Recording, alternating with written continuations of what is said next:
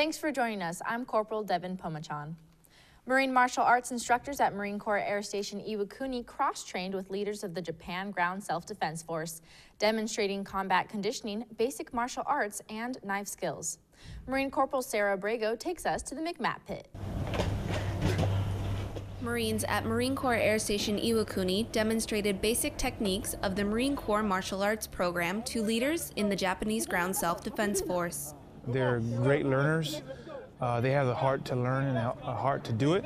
That's one of the main reasons why I came out here because I knew they were going to be interested in learning what we have to do as uh, as far as combat conditioning and the MCMAP program. Currently, the JGSDF martial arts program uses several techniques from the Marine Corps style the training was very impressive. I was impressed with not only the martial arts, but also the combat conditioning and how they transport wounded based on actual fighting.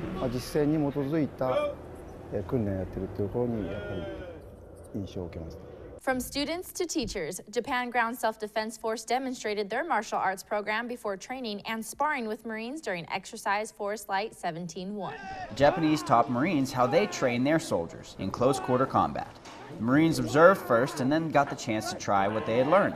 I feel like the Japanese training is very effective, a very good way of training. is very similar to ours, just a little more, they start out a little bit more intense. Reporting from Sagamihara, Japan, I'm Lance Corporal Jacob Colvin.